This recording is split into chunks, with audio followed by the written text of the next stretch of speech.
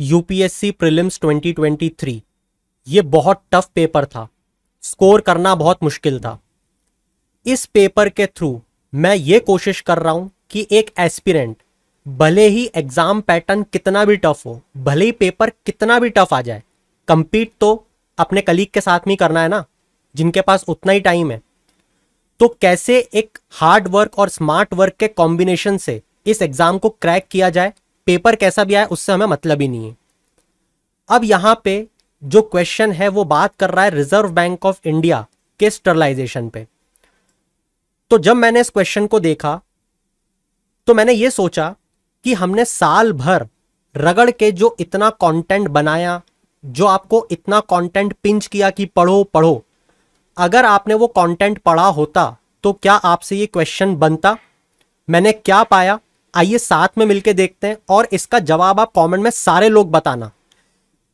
इस प्लेलिस्ट और इस वीडियो सीरीज़ का पर्पज ये बिल्कुल भी नहीं है कि मैं आपको क्वेश्चन दिखा के, आंसर पढ़ा के आगे बढ़ जाऊँ।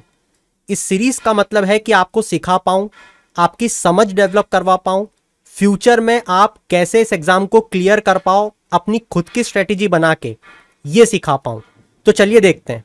तो दोस्तों, ये है हमारा इंडियन इकोनॉमी का पूरा कोर्स। यहाँ पे अगर मनी एंड बैंकिंग मॉड्यूल में आप जाओगे मनी एंड बैंकिंग मॉड्यूल में जब आप ढूंढोगे आरबीआई स्टरलाइजेशन को तो दोस्तों आपको ये 18 मिनट का एक वीडियो दिखेगा।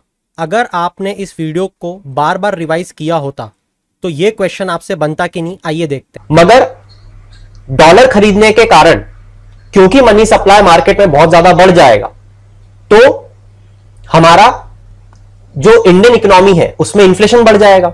और ये इन्फ्लेशन इस रेंज से अगर बाहर गया तो इसको भी तो कर्टेल करना पड़ेगा ना। तो बस, अगर आप ये समझ गए तो आप ये भी समझ जाओगे कि अब पिक्चर में आने वाले हैं हमारे बॉन्ड्स क्योंकि इन बॉन्ड्स के थ्रू अब जो हमारे मार्केट में इन्फ्लेशन आया है, और वो इन्फ्लेशन आया था क्योंकि रूपी को दे के डॉलर खरीदने की कोशिश कर रही थी रिज़र्व बैंक ऑफ़ इंडिया और वो इसलिए कर रही थी क्योंकि हमारे यहाँ पे एक्सेसिव इन्फ्लो हो गया था डॉलर का। तो इस बॉन्ड के थ्रू हम हमारे मार्केट में इन्फ्लेशन को कम करने की कोशिश करेंगे। अब आप पूछोगे, ये कैसे किया जा सकता है? बहुत ही आसान है। यहाँ पे जो रिज़र्व बैंक ऑफ़ इंडिया होती है ना, वो इन बॉन्ड्स को सेल आउट करेगी। अब आप पूछोगे कि Reserve Bank of India bonds को बेचेगी तो इन्फ्लेशन पे कैसे फ़र्क पड़ेगा?